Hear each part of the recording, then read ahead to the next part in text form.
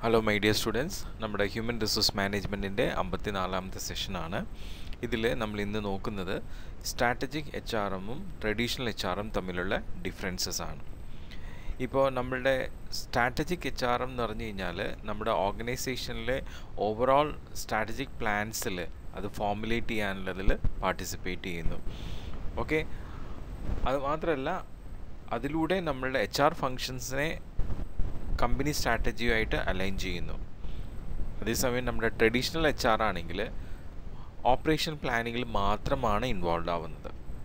Okay ഇനി രണ്ടാമത്തൊരു difference ചോദിക്കുകയാണെങ്കിൽ പറയുകയാണെങ്കിൽ നമ്മുടെ സ്ട്രാറ്റജിക് എച്ച് ആർ എം ഇത് മെയിനായിട്ടും ഫോക്കസ് ചെയ്യുന്നത് സ്ട്രാറ്റജീനെയാണ് ഓർഗനൈസേഷന്റെ സ്ട്രാറ്റജീനെയാണ് ഓപ്പറേഷൻ ഇഷ്യൂസിന് അത്രയും ഫോക്കസ് ചെയ്യുന്നില്ല. അതേസമയം എച്ച് ആർ എം ആണെങ്കിൽ ഓപ്പറേഷണൽ ഇഷ്യൂസാണ് മെയിനായിട്ട് ഫോക്കസ് ചെയ്യുന്നത്. പിന്നെ നമ്മുടെ സ്ട്രാറ്റജിക് എച്ച് ആർ എമ്മിലാണെങ്കിൽ കുറേ കൂടി ഹൈ സ്റ്റാറ്റസ് ആൻഡ് അതോറിറ്റി ഉണ്ട്. കാരണം എക്സിക്യൂട്ടീവ് ലെവലിലാണ് നമ്മൾ സ്ട്രാറ്റജിക് എച്ച് ആർ എം വരുന്നത്. പക്ഷേ നമ്മുടെ ട്രഡീഷണൽ എച്ച് ആർ എന്ന് വെച്ചാൽ മീഡിയം സ്റ്റാറ്റസ് ആണ് അതോറിറ്റീസും മീഡിയമാണ് വരുന്നത്. അതുപോലെ സ്ട്രാറ്റജിക് എച്ച് ആർ എം എല്ലാ മാനേജേഴ്സിനെയും എംപ്ലോയീസിനെയും കൺസ മീൻ കൺസിഡർ ചെയ്യുമ്പോൾ എച്ച് ആർ എം മെയിനായിട്ട് കൺസിഡർ ചെയ്യുന്നത് hourly operational and clerical employees low level employees low level മാനേജ്മെന്റിലുള്ള എംപ്ലോയീസിനെയാണ് മെയിനായിട്ടും കൺസ് ശ്രദ്ധിക്കുന്നത്. സ്ട്രാറ്റജിക് എച്ച് ആർ എമ്മിൽ നമ്മൾ ഇപ്പോൾ ഉള്ള നമ്മുടെ business concerned on going strategic decisions ആണ് മെയിനായിട്ടും ശ്രദ്ധിക്കുമ്പോൾ എച്ച് ആർ എമ്മിൽ ഓപ്പറേഷൻ ഡിസിഷൻസ് മാത്രമായിരിക്കും എടുക്കുന്നത്. എസ് എച്ച് ആർ എമ്മിൽ ഇത് ഓർഗനൈസേഷൻസ് ഓർഗനൈസേഷനുള്ള എല്ലാ ഫങ്ഷൻസുമായിട്ട് S H R M integrated ആണ്. അത് മാർക്കറ്റിംഗ് ഫിനാൻസ് പ്രൊഡക്ഷൻ എല്ലാം.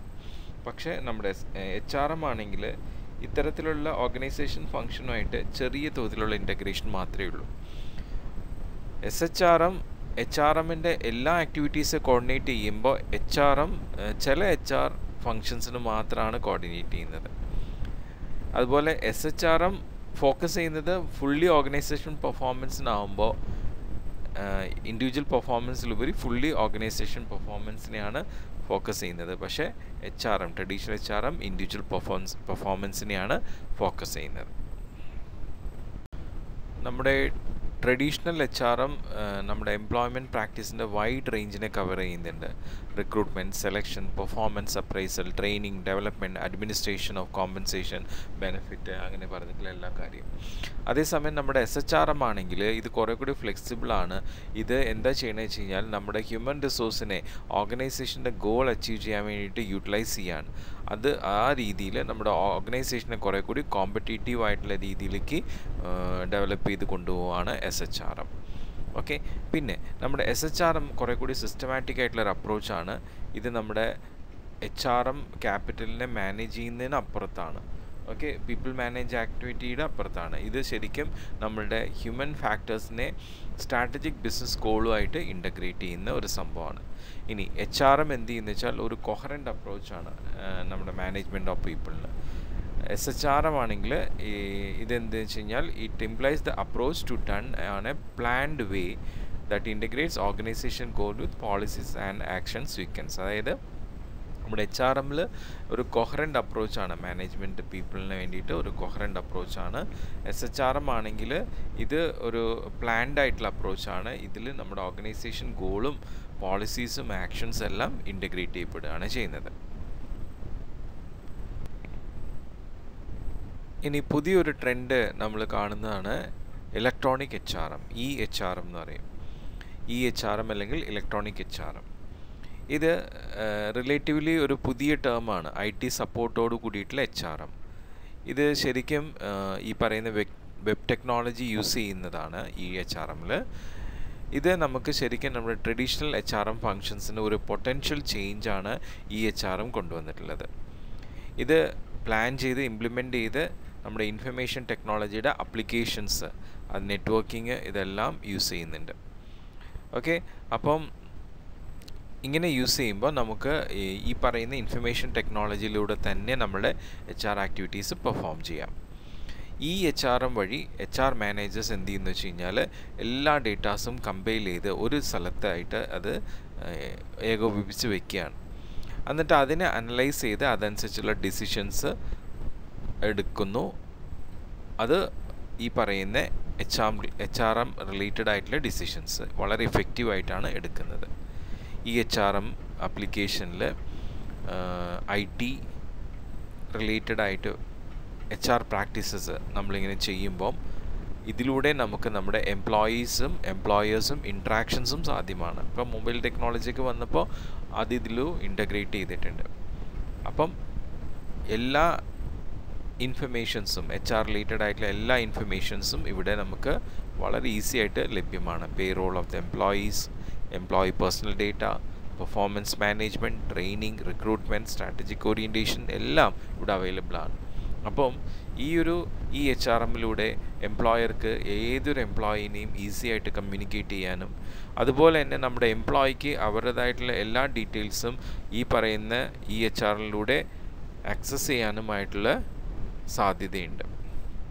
ഓക്കെ സോ അങ്ങനെ വരുമ്പോൾ നമ്മുടെ മാനേജേഴ്സും empowerment of managers and employees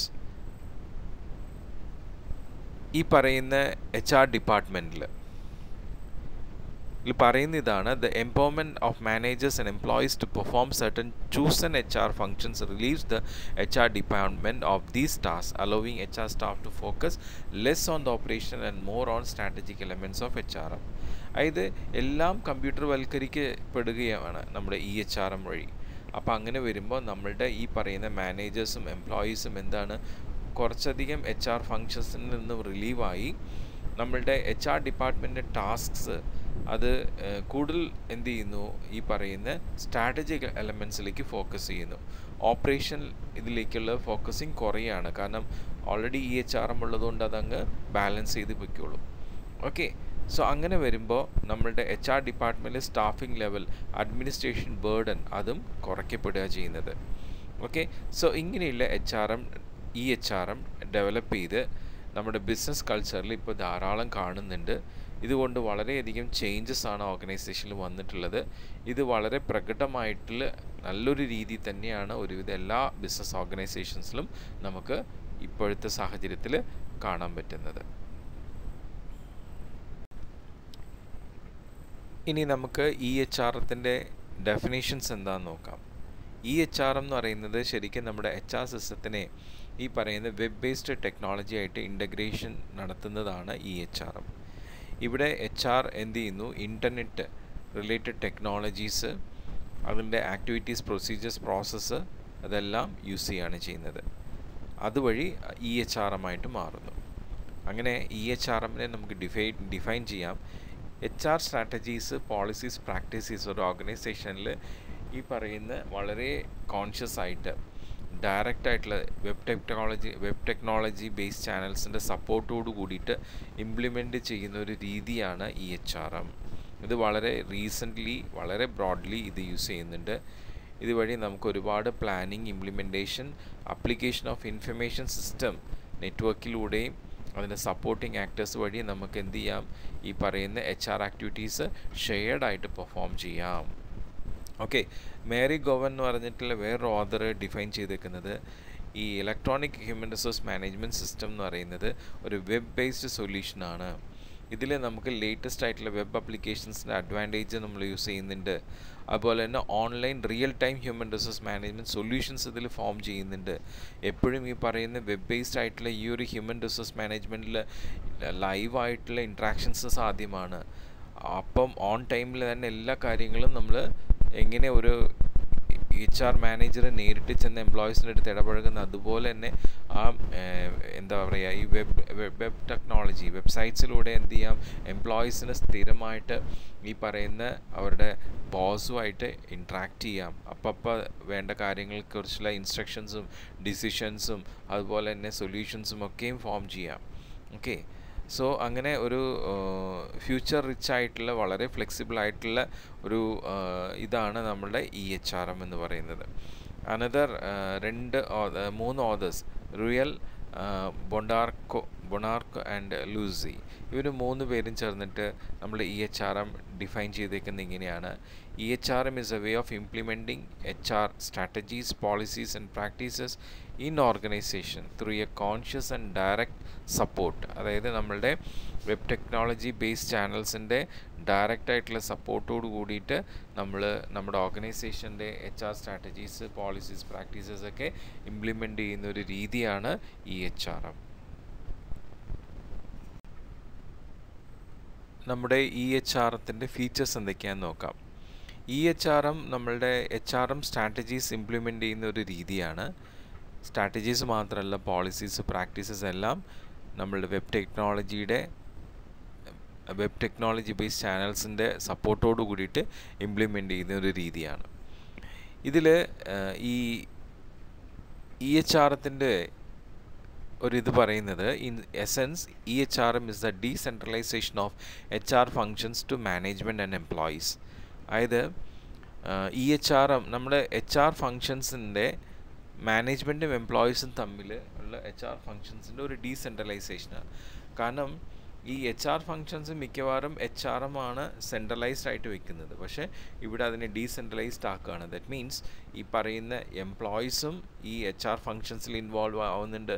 മാനേജ്മെന്റും അതിൽ ഇൻവോൾവ് ആവുന്നുണ്ട്. അപ്പോൾ അങ്ങനെ ഡീസെൻട്രലൈസ്ഡ് ആയിട്ട് രണ്ടുപേരും ഈക്വലി ഇൻവോൾവ് ആവുന്ന രീതിയിലേക്ക് നമ്മളുടെ എച്ച് ഈ എച്ച് ആർ എം ഫോം ചെയ്യുന്നുണ്ട്.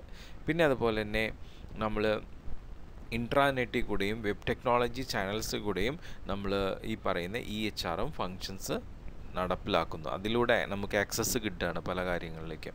പ്രത്യേകിച്ച് എംപ്ലോയീസിന് പിന്നെ അതുപോലെ തന്നെ നമ്മളുടെ എച്ച് ആർ ഡിപ്പാർട്ട്മെന്റിന്റെ സർവീസസ് ഇമ്പ്രൂവ് ചെയ്യാനായിട്ട് ഈ എച്ച് ആർ എം ഒത്തിരി സഹായിക്കുന്നുണ്ട്. ഇത് നമ്മളുടെ efficiency cost effectiveness H R ഡിപ്പാർട്ട്മെന്റിന്റെ ഇമ്പ്രൂവ് ചെയ്യിക്കുന്നുണ്ട്. അതുപോലെ തന്നെ കുറേ കൂടി സ്ട്രാറ്റജിക് പാർട്ട്ണർ ഈ ഓർഗനൈസേഷൻ ഗോൾസ് അച്ചീവ് ചെയ്യാനായിട്ട് ഇത് സഹായിക്കുന്നതാണ്.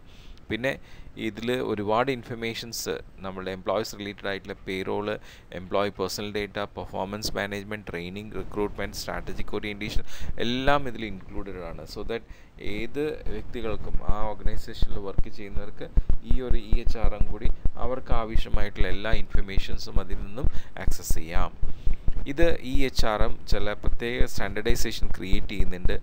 ആ സ്റ്റാൻഡർഡൈസേഷന്റെ പ്രൊസീജിയേഴ്സ് ഉപയോഗിച്ച് നമ്മുടെ ഓർഗനൈസേഷനിൽ എന്തൊക്കെയാണ് എച്ച് ആർ റിലേറ്റഡ് ആയിട്ടുള്ള റിക്വയർമെന്റ്സ് ആ കാര്യങ്ങൾ നമുക്ക് മനസ്സിലാക്കി ഐ മീൻ മനസ്സിലാക്കി അതിന് എന്തൊക്കെ ഡിസിഷൻസ് വേണമെന്നുള്ള കാര്യങ്ങളൊക്കെ നമുക്ക് തീരുമാനിക്കാനായിട്ട് പറ്റും.